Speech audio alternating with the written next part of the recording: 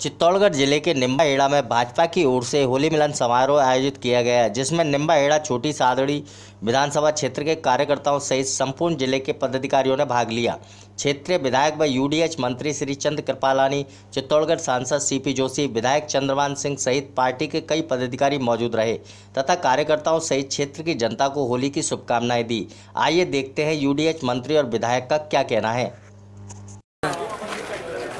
निश्चित रूप से मैं कह सकता हूँ कि कांग्रेस इस देश से धीरे धीरे लुप्त होती जा रही है। और आने वाले चुनाव में, चाहे वो राजस्थान में होंगे चाहे मध्य प्रदेश में, छत्तीसगढ़ में, चाहे कर्नाटक में, थोड़े दिनों बाद चुनाव होने वाले जिस तरह पूर्वोत्तर के चुनाव के नतीजे आए, निश्चित रूप से कांग्रेस का सफाया होगा और भारतीय जनता पार्टी की दोबारा सरकार जनता पार्टी के लिए, कार्यकर्ताओं के लिए एक उत्साह वाली बात है कि देश में माननीय नरेंद्र मोदी जी के नेतृत्व में, माननीय अमित शाह जी के नेतृत्व में लगातार लगातार लगातार पार्टी ने अच्छा प्रदर्शन करते हुए आज 21 राज्यों में भारतीय जनता पार्टी की सरकार बनी है। और ऐसा देश में पहली बार हुआ है कि कोई भी अभी तक माननीय इंदिरा जी के नेतृत्व में कभी 16 17 18 16 17 राज्यों में कभी सरकार बनी होगी, जब वो बहुत ताकतवर प्रधानमंत्री थी।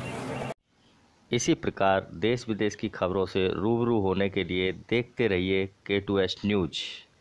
इसे सब्सक्राइब करना ना भूलें।